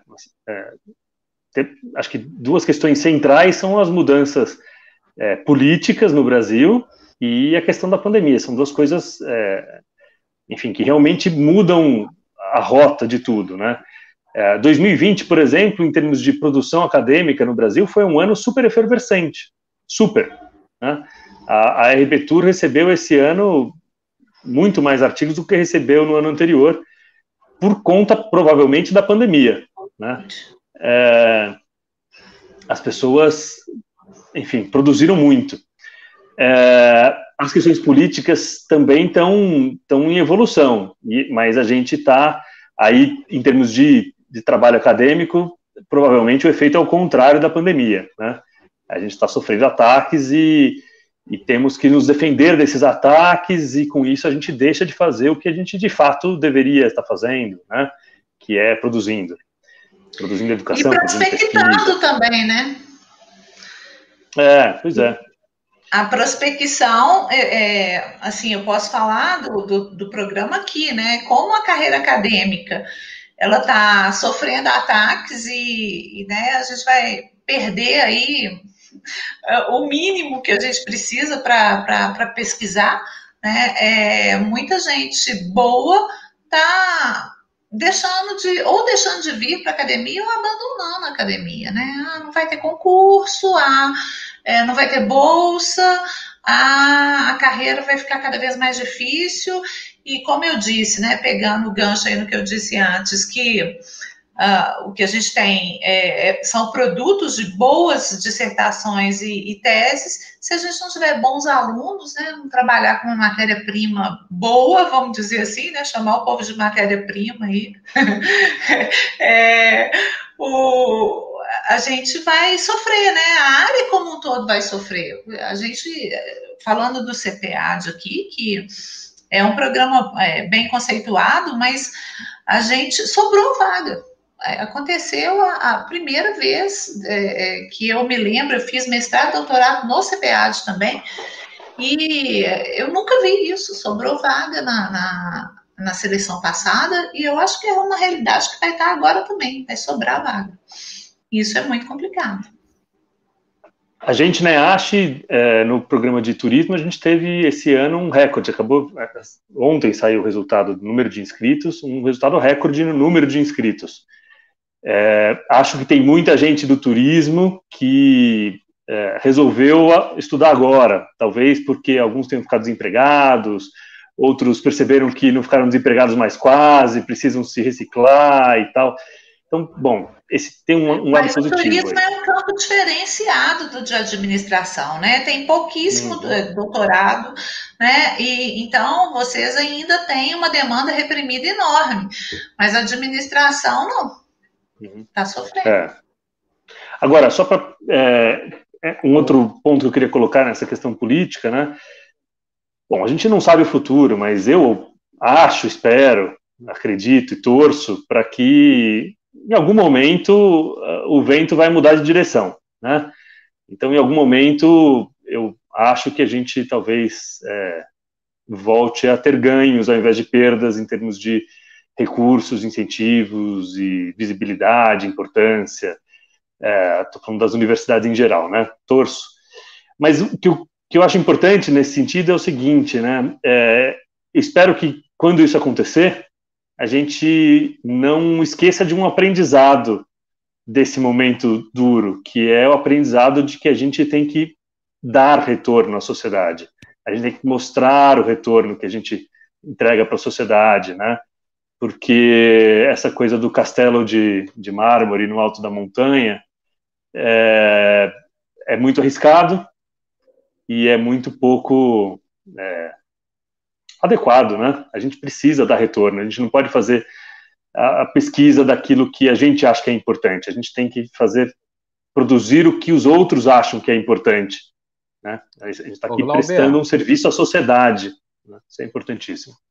Glauber, deixa eu fazer uma incisão. Eu ia deixar mais para o final para comentar, para fazer a pergunta. E esse era o tema que eu queria tratar contigo, é, mas como você já entrou, vamos, vamos tratar dele agora. É, o Tiago Alves fez uma pergunta nesse sentido, e o Matheus José, se eu não me engano, também fez uma pergunta nesse sentido.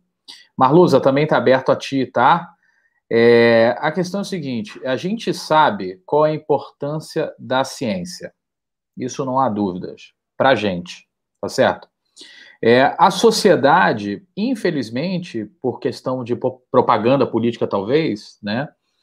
E, e, eu acho que também por muita culpa da própria academia, ou seja, a própria maneira com que a academia escreve, né? A gente comparar um trabalho em português com um trabalho em inglês é uma questão de língua, tá? É, a, a, a, o texto é muito mais direto, né? É muito mais preciso, não tem rodeios, as palavras são mais é, simples é, uh, e diretas, né? E aí é, eu acho que muito a pesquisa não traz esse resultado para a sociedade, né? É, e a minha pergunta é como a gente faz para entender ou fazer a sociedade entender a importância da ciência? Como a gente pode contribuir para um mundo melhor? Bom, como a gente pode contribuir para um mundo melhor? É, não, convenhamos que não é uma pergunta fácil. Né? É... Eu avisei. Primeiro, eu acho assim: eu acho que a gente no Brasil é, tem uma. Vou dizer de uma forma um pouco exagerada, tá? Mas é um pouco nessa linha. A gente acha que pesquisa é título de nobreza, né? Então, assim, tem que fazer pesquisa para eu crescer na carreira, tem que fazer pesquisa para eu mostrar para os outros que eu sei, tem que fazer pesquisa para que os outros tenham medo de mim. É... Pesquisa não deveria ser isso. Pesquisa deveria ser conhecimento para a melhoria da, da vida dos cidadãos, né? Pesquisa é, é, produzir conhecimento que de alguma forma vai melhorar a vida das pessoas, né? É, então, é, manter o foco no impacto é fundamental. E tentar deixar de lado, tentar diminuir, tentar esquecer dessas coisas todas, né? De, é, enfim, sabe, quem publicou mais e não é isso que importa, né? É, ou então quem escreve mais difícil, né? Eu acho que tem um pouco da, é, da coisa da jogar o jogo, né? Vamos jogar o jogo porque assim a gente consegue escrever livros e publicar artigos e tal e, e para jogar o jogo muitas vezes você tem que fazer difícil. Você fez uma pergunta para para Sarah Doniker naquela conversa que foi nesse sentido, né? É, um estudo um estudo simples ou um estudo complexo? Ela respondeu, é óbvio que um simples, não é?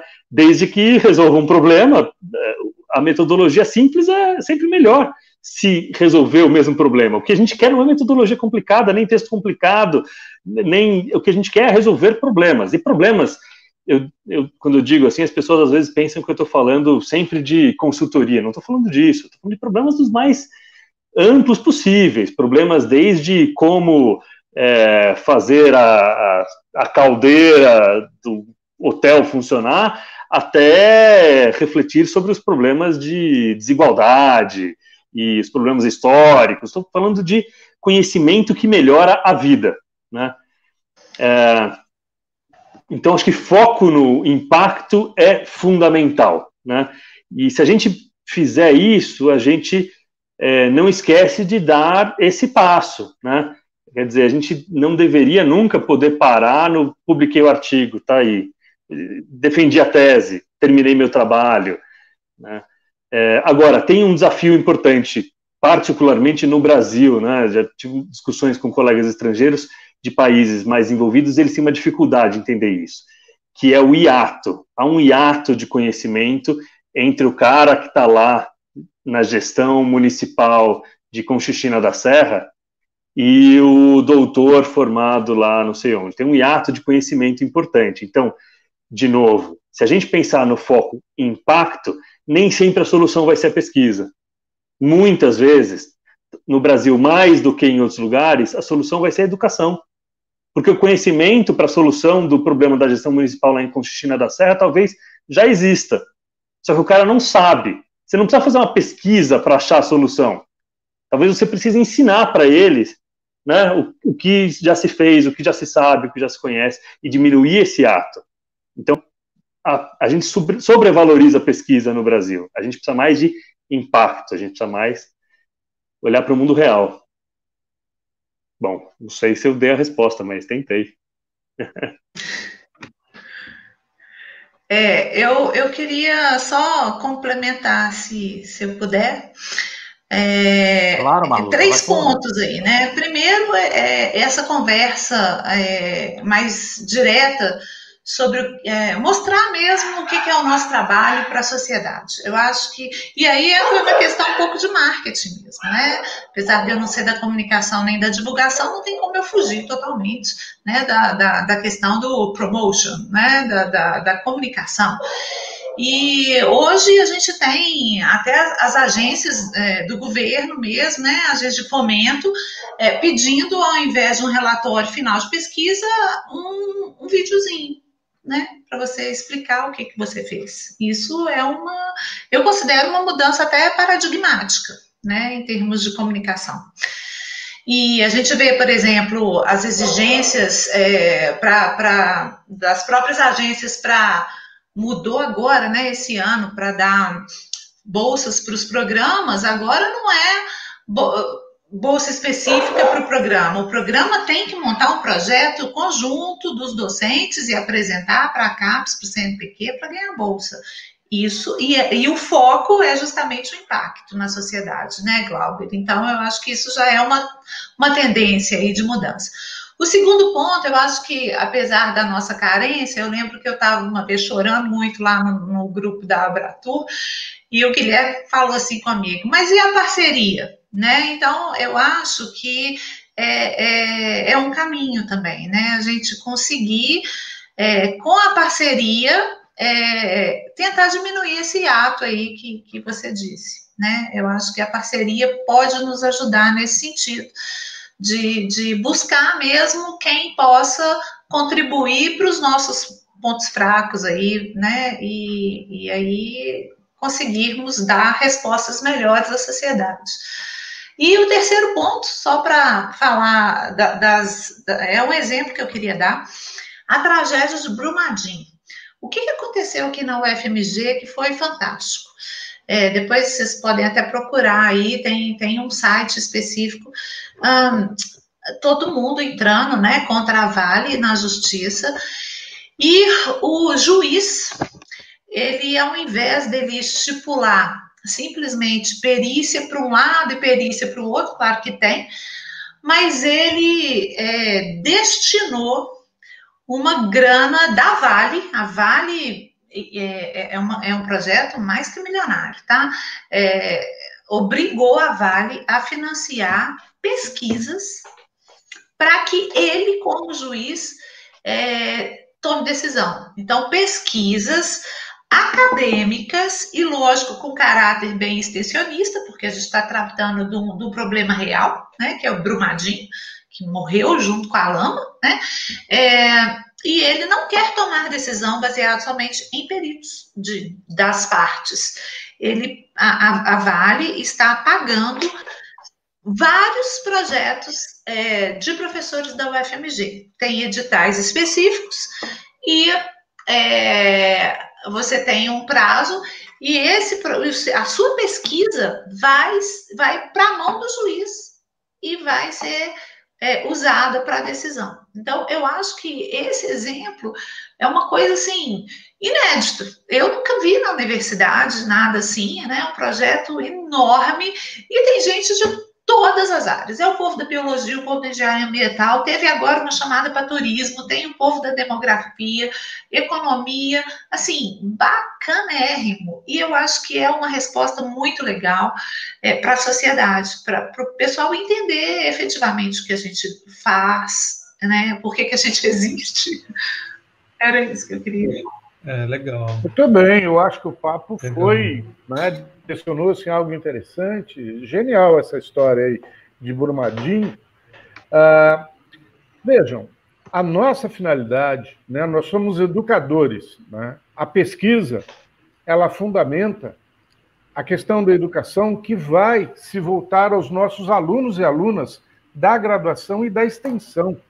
A extensão é fundamental. Lá na EACHA a gente tem um trabalho de extensão, tem vários colegas uh, professores e professoras que fazem. O Tiago é um deles, o Tiago apareceu aí, o Tiago é um dos muitos que fazem um trabalho de extensão importante.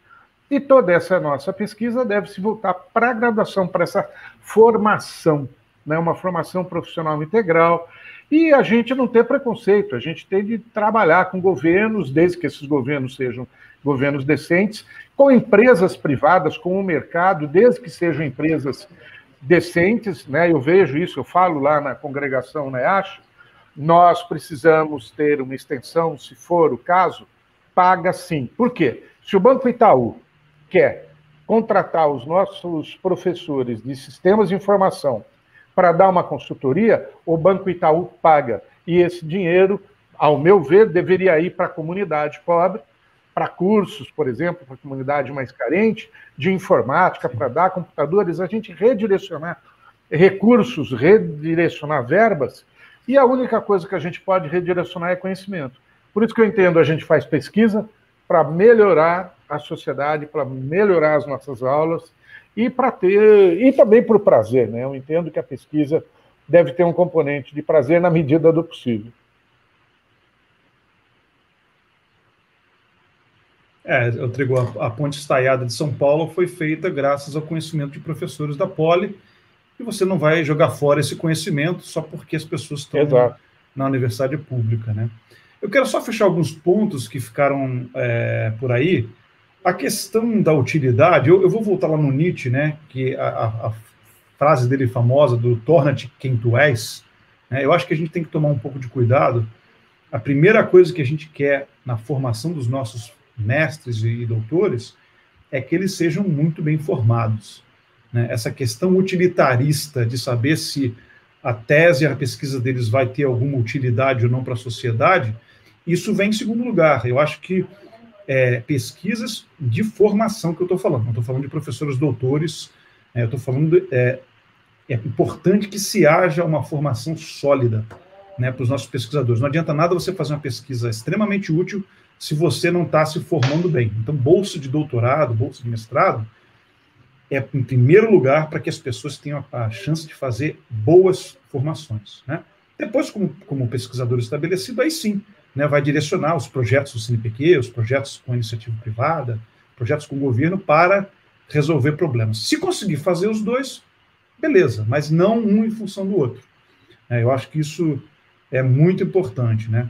A questão do impacto aqui na Austrália, a conversa hoje, você falar que você tem X artigos publicados, já nem conta mais. Congresso nem se fala, ninguém coloca em currículo, porque, exceto algumas poucas áreas, como computação, que você precisa publicar rápido as inovações e divulgar e conversar, a verdade é que congressos e eventos conta muito pouco para um avanço e para um impacto. Né? Raros casos de, de citações de eventos que são que têm impacto. E aí, como é que você mede isso? Mede isso na, qual é o impacto que a tua pesquisa tem na formação de políticas públicas da tua área, né? é, se o governo decide fazer um novo documento sobre aviação, de que ponto os meus artigos estão influenciando esses, esses white papers, como a gente aqui fora. E, por fim, não quero dizer que isso seja justificativo para que a, a, a luta que se está fazendo no Brasil para uma validação e reconhecimento, inclusive financeiro, dos programas e, da, e dos professores, é, eu já tenho enfatizado um pouco aqui, existem oportunidades em outros lugares. Por exemplo, Hoje não se consegue bolsas da CAPES NPq para ir para o exterior. É, existem várias universidades, como a própria Griffith aqui, que dão bolsas para que se vão, se possa fazer doutorado no exterior. Eu tenho três brasileiros no momento aqui com essa bolsa. Um, uma delas não é brasileira, mas uma aluna, inclusive, com orientação do Glauber. O Tiago Falcão, que fez mestrado aí na, na IASH com vocês, Trigo e, e Glauber, lá com o Vinha, está vindo começar a fazer o, o, doutorado dele aqui. Então, assim, existem outras possibilidades é, aí. Eu não quero que as pessoas fiquem com medo, os tempos são difíceis, mas existem outras alternativas até chegar nesse momento aí de transformação. Glauber, eu tenho uma pergunta para você, que é o seguinte, você transformou a RB Tour no que hoje, que a gente falou lá no início do programa, que seja a melhor revista de turismo no Brasil, com A2. Conta para gente o segredo do teu sucesso ou da tua equipe aí para você alcançar isso. Bom, Gui, é... não seja modesto, que... hein? A gente quer, não seja modesto, porque eu estou falando fatos aqui. Né? Então não venha com falsa não, primeiro, modéstia, A gente tem que, reconhecer, tem que reconhecer brutalmente o papel dos editores e das editoras que me precederam, tá? é, quando eu peguei a revista, a revista já tinha uma posição é, muito positiva. Os editores anteriores fizeram um trabalho muito bom. É, e a revista também tem, é, tem uma condição de edição que é diferenciada da maioria, né? Porque a revista é editada pelo pela Associação Nacional de Pesquisa e Pós-Graduação em Turismo, então já é uma revista que todo mundo se sente próximo, mas ninguém é dono, não tem clubinho, não tem, sabe, não tem nenhuma percepção de clubinho, não que tenha, mas assim, já é uma revista democrática, já é uma revista representativa, de partida, além do que a associação é, oferece condições financeiras, a gente tem gente que trabalha com diagramação, a gente tem gente que trabalha com XML, tem pessoal que trabalha é, com site, tem revisão do inglês, enfim. Então a gente tem uma condição. Eu, eu, eu, peguei uma revista em ótimas condições, né? Pelos editores e pela associação. Então acho que no fundo esses são os dois grandes responsáveis. É, tem um terceiro elemento importante que é o seguinte: o, o Qualis, né, as avaliações, as revistas, elas são, em certa medida, uma profecia autorrealizadora.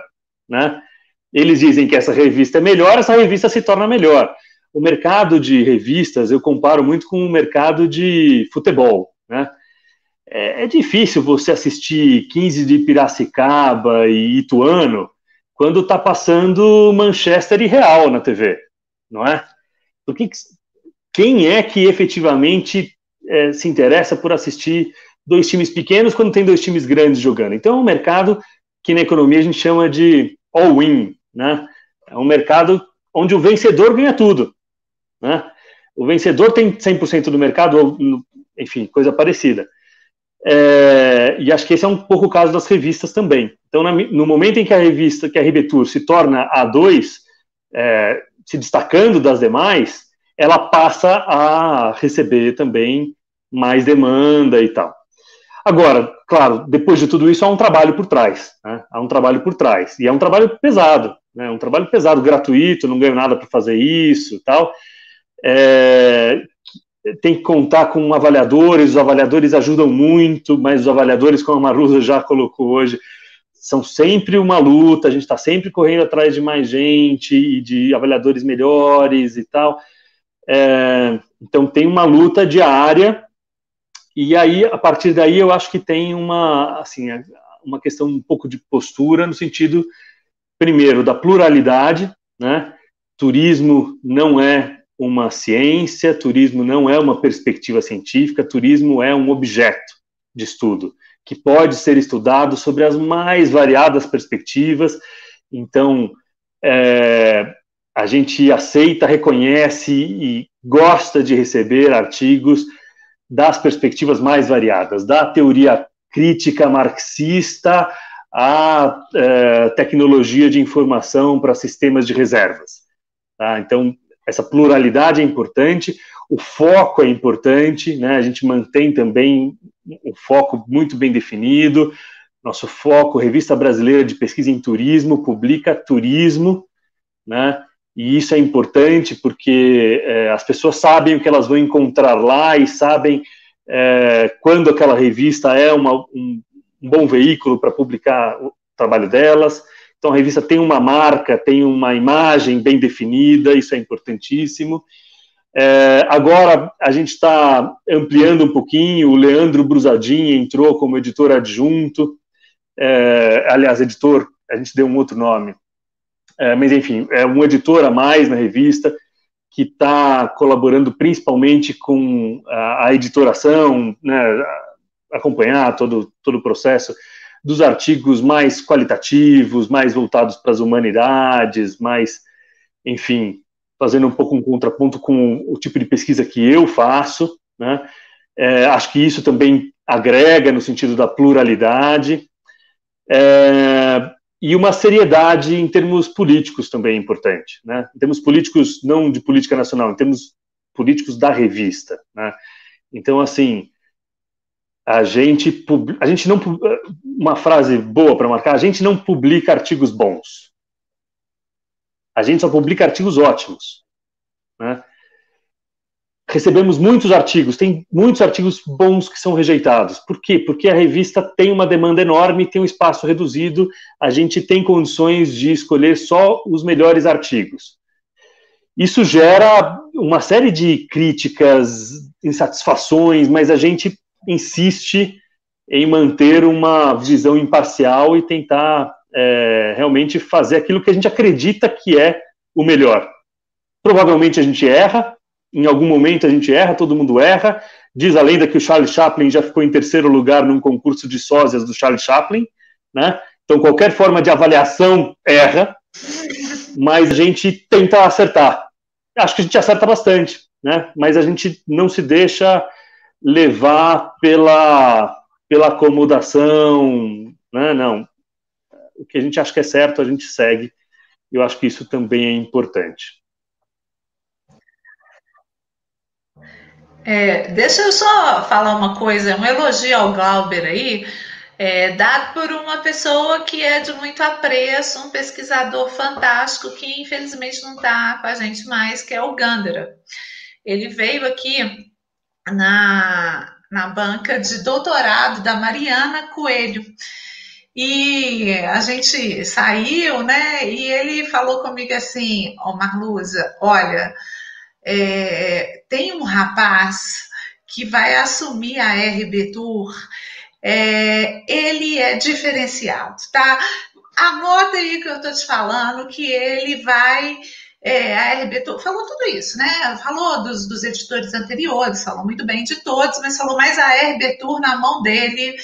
É, você vai ver como é que vai ser, né? É, então já era um visionário mesmo, né? Palavras de um visionário. Eu acho que Glauber, é, o segredo do sucesso, você deu aí a, a, a questão mais institucional. Mas a gente não pode, é, eu acho que todos aqui concordam, né? É uma honra para a gente publicar na RBTU, é, mas ela tem muito da, da, da, sua seriedade, aí é uma questão mais pessoal mesmo. Acho que você é, colocou. Ele, ele, é queridinho, Marluza. Ele é queridinho é, desse povo todo. Você já é olhou a cor dos olhos dele? É não adianta ele Você já olhou? É porque é a cor dos olhos dele, entendeu, Marluza? É só pela cor dos olhos, entendeu? É só por isso. Tá? É, tá bom. Disse um Barba pouco, grisalha, né? entendeu? O pessoal fica, ele vira o queridinho desse povo, entendeu? Tem o fã-clube lá, tem o fã-clube lá. Né? E os invejosos também, né, Trego? E tem os invejosos também, né, Trego? Tem invejosos também. Los perros, los perros ladram la caravana. Pessoal, olha só, já tem uma hora e quarenta de programa, praticamente. O tempo voou. Pois é. Né, voou, né? É, a gente fez uma enquete lá no, lá no Instagram, lá, é, dizendo. O, o, foi sugestão do Valério, o programa tinha que ter três horas, e aí 85% do pessoal concordou, falou: é, é, verdade, tem que ter mesmo. Mas não dá, não né? Infelizmente, isso, né? O Ambrosio não aguenta mais, que ele é uma pessoa cansada, e eu não sou pago para isso. é. Pois é. Trigo, o, você quer começar, Trigo?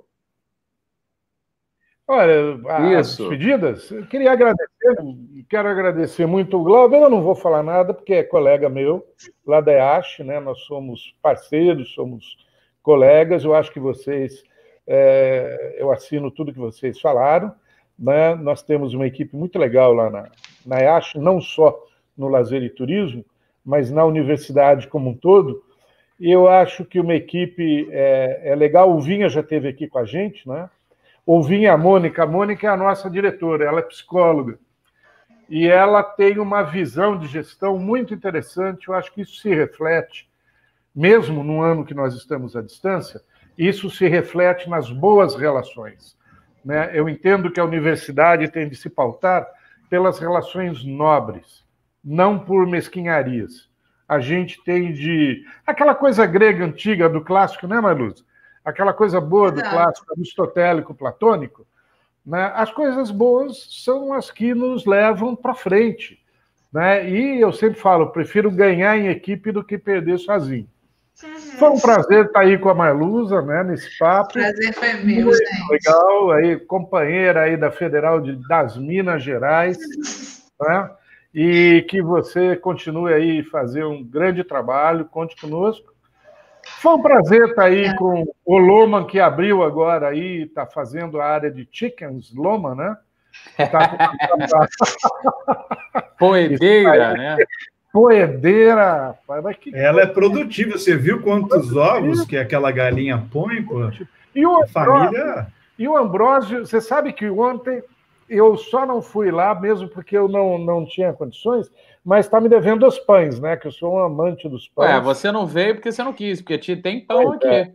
Mas entre, entre o pão doméstico do outro lado da poça e analisar uma realidade social do lado de cá, você sabe, né? Era só segunda-feira, era só é só a segunda noite que tem a Pedra do Sal. Fica aí a informação para vocês. Pedra do Sal, segunda noite, vai de máscara, entendeu? É só para beber. Até o cachorro latiu, olha lá. Gente, boa noite para vocês, tudo de bom? Foi um prazer, boa noite aos ouvintes.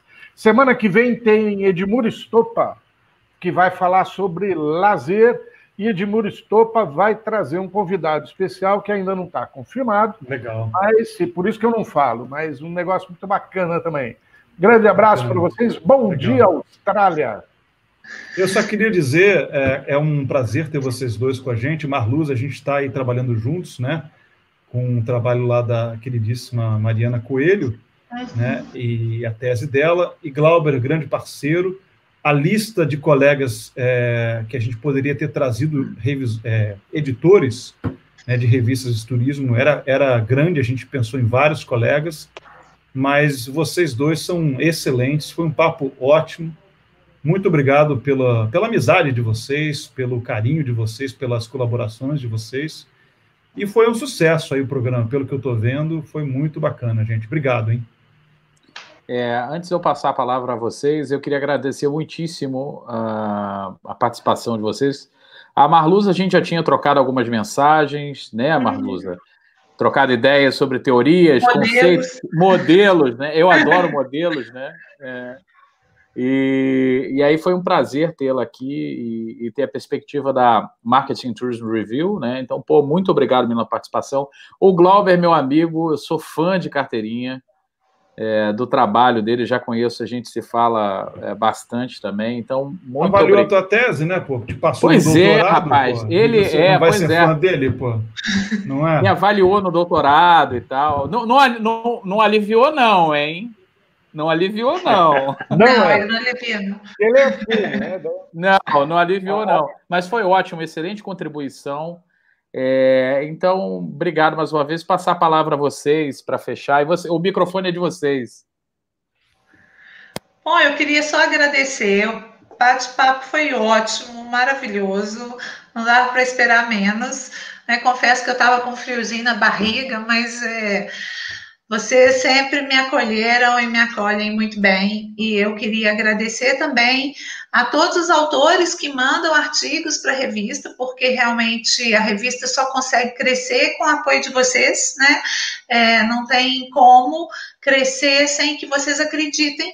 E é muito legal que quase todo mundo assim que a gente é, é, vê que, que é autor importante publica, é, manda mesmo artigo para revista e isso assim dá um ânimo muito muito grande de trabalhar. Então eu quero é, agradecer a toda a todos os pesquisadores aí de turismo que, que apostaram e apostam na revista e dão uma força com artigos muito bons. Muito obrigada e muito obrigada pelo espaço de estar aqui com vocês. Bom, obrigado também pelo convite mais uma vez. É, vou falar mais um minutinho da RB Tour, depois eu queria fechar com um último comentário. Então, assim, é, obrigado por esse espaço para falar sobre a RB Tour. A RB Tour está aberta a todo mundo, a todos os tipos de perspectivas sobre o turismo. Esperamos continuar oferecendo para a comunidade acadêmica de turismo no Brasil um bom serviço de divulgação das pesquisas que vocês fazem. Né? Mas não se esqueçam, o ponto fundamental é a pesquisa que vocês fazem e o ponto final é o impacto que ela gera. Essa é a nossa contribuição é estar tá no meio desse caminho, facilitando esse processo. Acho que isso é importante. E por fim, eu queria parabenizar agora publicamente, já tinha dado esses parabéns para o Ambrósio pela iniciativa de fazer o Gaia, que tem sido um programa super interessante, relevante, que tem realmente criado um novo ambiente na, na comunidade brasileira de pesquisa do turismo. Tem marcado esse ano tão difícil de 2020, espero que continue marcando no futuro. Então, super parabéns à iniciativa, aos três mosqueteiros aí, é, mas acho que principalmente ao Ambrósio que levou a coisa. Parabéns. Legal, obrigado. Obrigado, Glauber. É, o, o, o GAI é feito por nós três até para tentar aproximar essa relação do público né, com a academia. Né? Esse é o objetivo da gente. Né? Obrigado mais uma vez, Glauber. Obrigado, Marluza. Esse foi o Gaia, já passaram vários minutos. Pessoal, boa noite. O Gaia Connection de hoje ligou Niterói, Brisbane, São Paulo e Belo Horizonte, um monte de cidade bacana. Pessoal, até semana que vem com Edmur Estopa. Hasta la vista. Valeu, gente. Obrigado.